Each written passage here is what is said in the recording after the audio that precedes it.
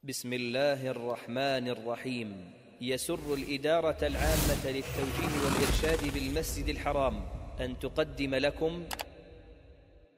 الحمد لله رب العالمين والصلاة والسلام على نبينا محمد وعلى آله وصحبه أجمعين. قال الإمام محمد بن عبد الوهاب رحمه الله تعالى. باب من الإيمان بالله الصبر على أقدار الله. وقوله تعالى ومن يؤمن بالله يهد قلبه والله بكل شيء عليم. إلى أن قال وفي صحيح مسلم رحمه الله عن أبي هريرة رضي الله عنه أن رسول الله صلى الله عليه وسلم قال إثنتان في الناس هما بهم كفر الطعن في النسب والنياحة على الميت.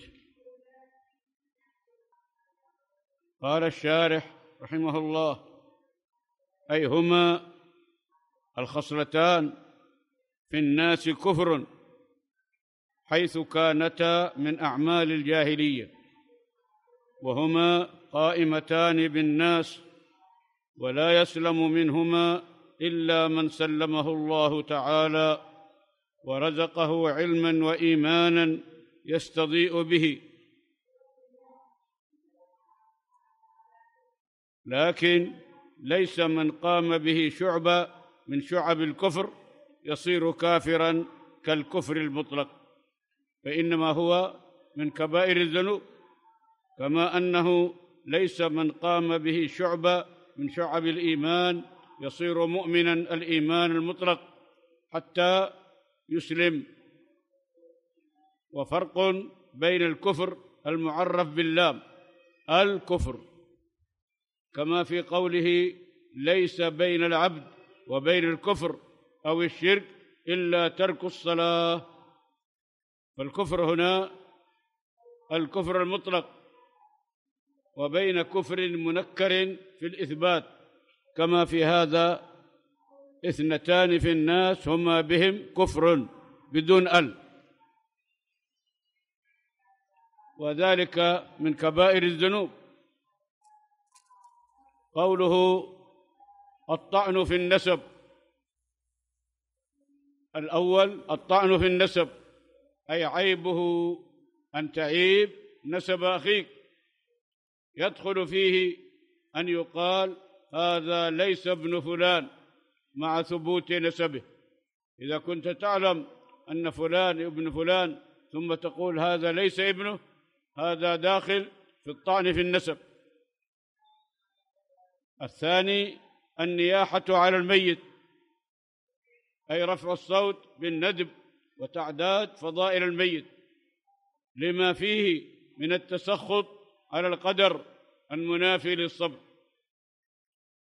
فالنياحة على الميت رفع الصوت بالبكاء وتعداد أوصاف الميت وفضائل الميت فهذا من كبائر الذنوب لأنه ينافي الصبر. فالمسلم إذا أصيب بمصيبة يقول إنا لله وإنا إليه راجعون. أي نحن عبيد لله وإليه نرجع. فلا يسعنا إلا الصبر على أقدار الله عز وجل. كقول النائحة واعضداه وناصراه ونحو ذلك. يعني تزعم أن هذا الميت كان عضدا لها وناصر لها ونحو ذلك. فهذه النياحة من كبائر الذنوب. فلا يجوز أن يقول المسلم هذا هذا عند موت الميت. بل عليه أن يصبر ويحتسب ويقول إنا لله وإنا إليه راجعون. وفيه دليل على أن الصبر واجب وأن من الكفر ما لا ينقل عن الملة. يعني كفر من أعمال الكفار كالطعن في النسب والنياحة على الميت. هذا من كبائر الذنوب فيجب على المسلم أن يحذر ذلك. ولهما أي البخاري ومسلم رحمهم الله عن ابن مسعود رضي الله عنه مرفوعا عن النبي صلى الله عليه وسلم. ليس منا من ضرب الخدود وشق الجيوب ودعا بدعوى الجاهليه الذي عند المصيبة يضرب خده ويشق ثوبه ويدعو بدعوى الجاهلية يا ويلاه يا ثبوراه فمن فعل ذلك ليس منا. ويدل على أن هذا من كبائر الذنوب. فيجب على المسلم أن يحذر فلا يضرب خده ولا يشق ثوبه ولا يدعو بدعوى الجاهلية بل يصبر ويحتسب ويقول إنا لله وإنا إليه راجعون. هذا من نصوص الوعيد. وقد جاء عن سفيان الثوري وأحمد رحمهم الله كراهية تأويلها ليكون أوقع في النفوس يعني فيه زجر وتحذير ليكون أوقع في النفوس وأبلغ في الزجر وهو يدل على أن ذلك ينافي كمال الإيمان الواجب. ضرب الخدود وشق الثيوب وشق الثياب ينافي كمال الإيمان والمؤمن يصبر على أقدار الله عز وجل.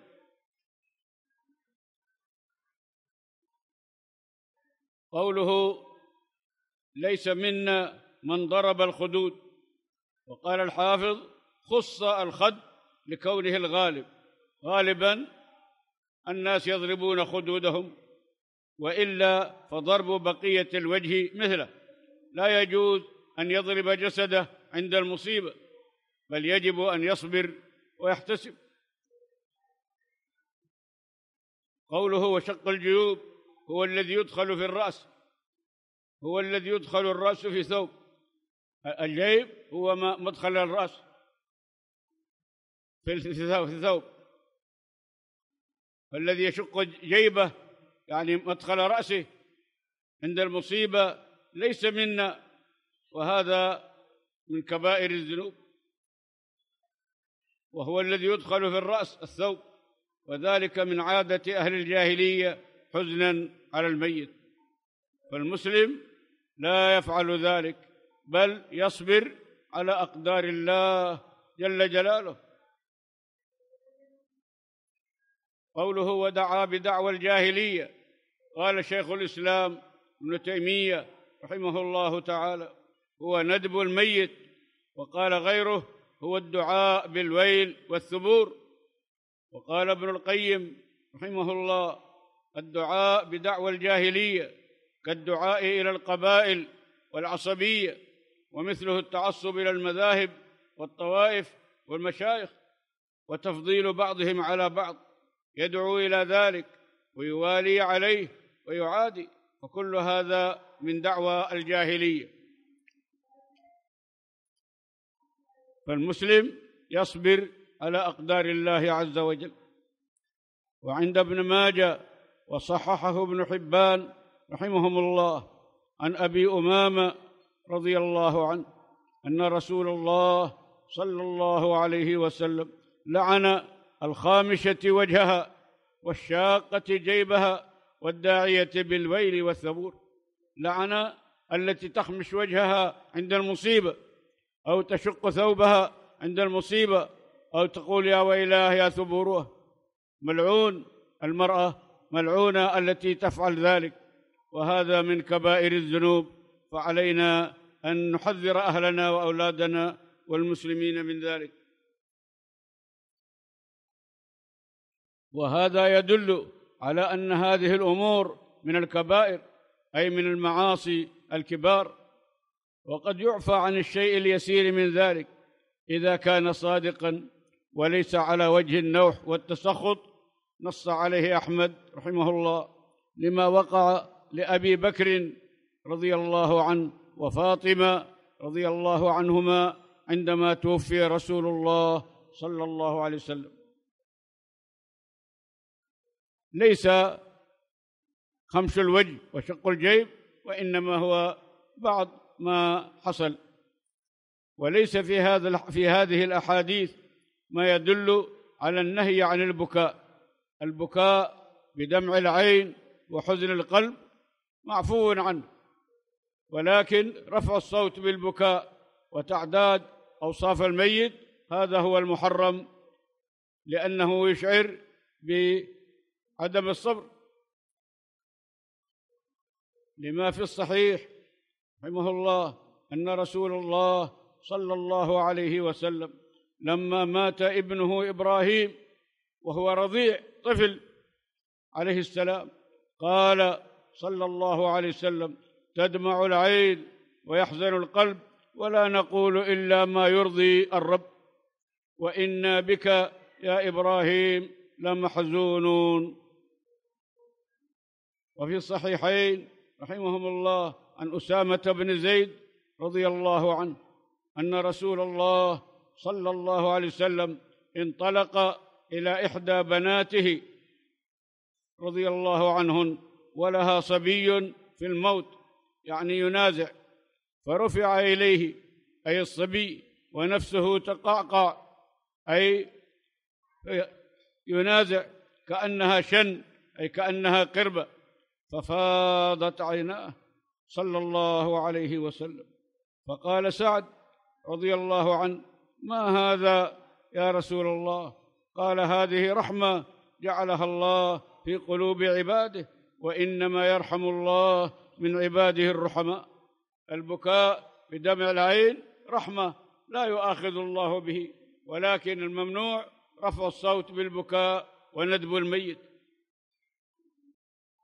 وعن أنس رضي الله عنه أن رسول الله صلى الله عليه وسلم قال إذا أراد الله بعبده العقوبة إذا أراد الله بعبده العقوبة في الدنيا إذا أراد الله بعبده الخير عجل له العقوبة في الدنيا. إذا أراد الله بعبده الخير عجل له العقوبة في الدنيا. يعني بالأمراض والمصائب. وإذا أراد بعبده الشر أمسك عنه بذنبه حتى يوافي به يوم القيامة. هذا الحديث رواه الترمذي والحاكم وحسنه الترمذي وأخرجه الطبراني والحاكم عن عبد الله بن مغفل رضي الله عنه وأخرجه ابن عدي رحمهم الله عن أبي هريرة رضي الله عنه والطبراني رحمه الله عن عمار بن ياسر رضي الله عنه. قوله إذا أراد الله بعبده الخير عجل له العقوبة في الدنيا.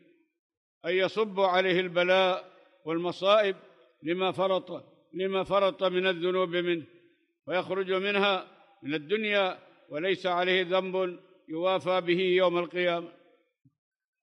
فالمصائب يكفر الله بها الذنوب. قال شيخ الإسلام ابن تيمية رحمه الله تعالى المصائب نعمة لأنها مكفرات للذنوب. وتدعو إلى الصبر فيثاب عليها وتقتضي الإنابة إلى الله والذل له والإعراض عن الخلق إلى غير ذلك من المصالح العظيمة. فنفس البلاء يكفر الله به الذنوب والخطايا وهذا من أعظم النعم والمصائب رحمة ونعمة في حق عموم الخلق إلا أن يدخل صاحبها بسببها في معاصي أعظم مما كان قبل ذلك فيكون شرا عليه. المصائب نعمه إلا إذا ارتكب الإنسان بعض المعاصي بسبب المصيبة فيكون شرا. وأما إذا صبر واحتسب فيكفر الله به الذنوب.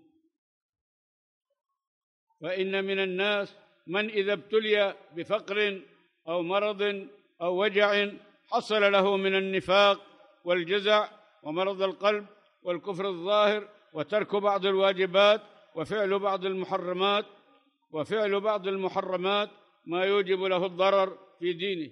فهذا كانت العافية خيرا له من جهة ما أورثته المصيبة لا من جهة نفس المصيبة.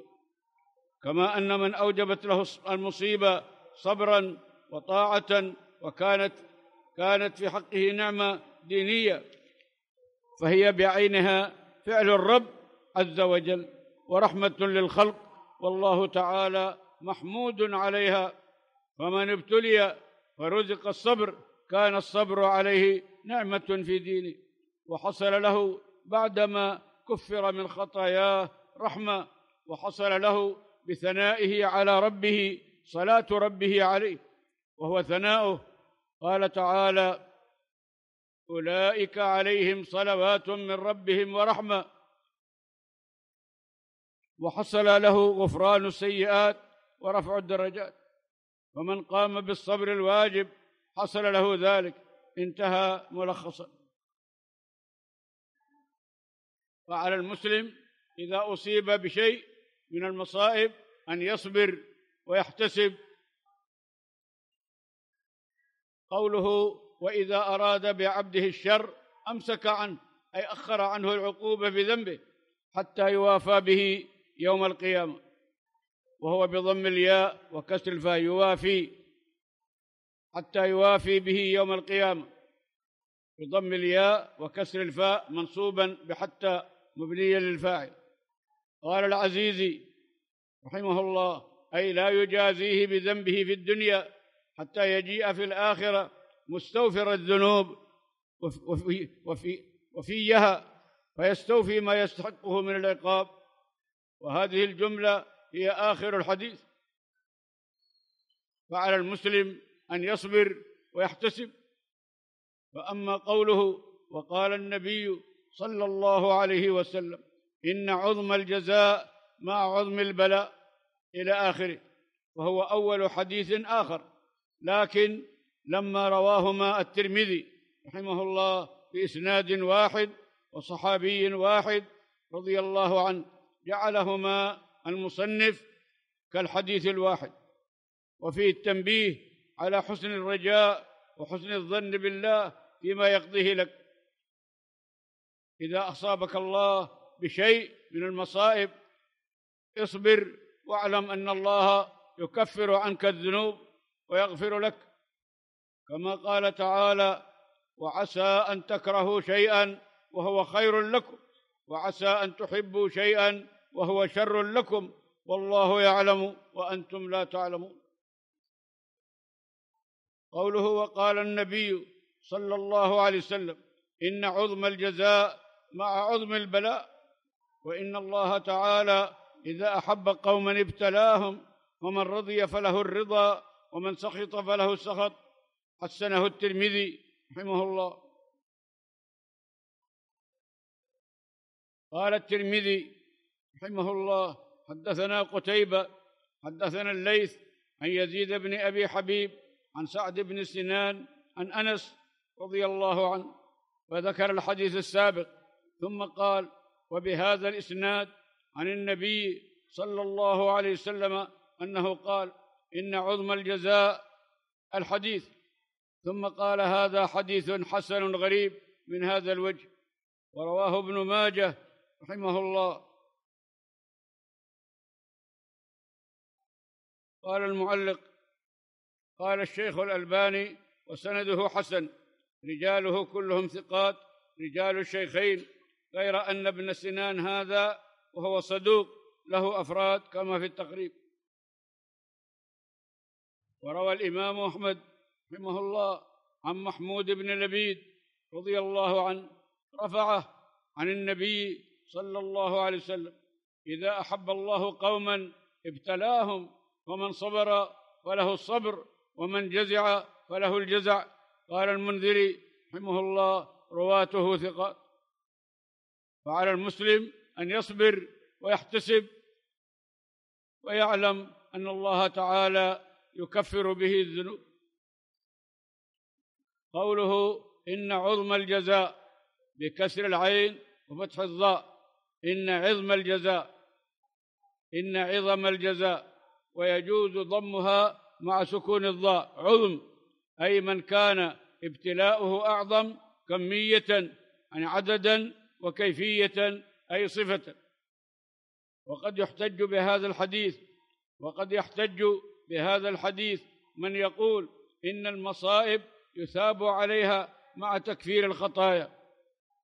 ورجح ابن القيم رحمه الله أن ثوابها تكفير الخطايا فقط إلا إذا كانت سببا لعمل صالح كالصبر والرضا والتوبة والاستغفار فإنه حينئذ يثاب على ما تولد منها. وعلى هذا يقال في معظم في معنى الحديث إن عظم الجزاء ما عظم البلاء إذا صبر واحتسب. قوله وإن الله إذا أحب قوما ابتلاهم. ولهذا ورد في حديث سعد رضي الله عنه سئل النبي صلى الله عليه وسلم أي الناس أشد بلاء؟ قال الأنبياء عليهم الصلاة والسلام. ثم الأمثل فالأمثل يبتلى الرجل على حسب دينه فإن كان في دينه صلابة أي قوة اشتد بلاؤه وإن كان في دينه رقة ابتلي على قدر دينه. فما يبرح البلاء بالعبد حتى يتركه يمشي على الأرض وما عليه خطيئة. رواه الدارمي وابن ماجه والترمذي وصححه رحمهم الله. هذا الحديث ونحوه من أدلة التوحيد فإذا عرف العبد أن الأنبياء عليهم الصلاة والسلام والأولياء أي المؤمنون المتقون يصيبهم البلاء في أنفسهم الذي هو في الحقيقة رحمة ولا يدفعه عنهم إلا الله عز وجل. عرف أنهم الأنبياء والصالحون لا يملكون لأنفسهم نفعا ولا دفعا فلأن لا يملكوه لغيرهم أولى وأحرى ويحرم قصدهم والرغبة إليهم في قضاء حاجة أو تفريج كربة لا يجوز دعاء غير الله ولا اعتقاد في غير الله فغير الله لا يملك شيئا. وفي وقوع الابتلاء بالأنبياء عليهم الصلاة والسلام والصالحين من الأسرار والحكم والمصالح وحسن العاقبة ما لا يحصى.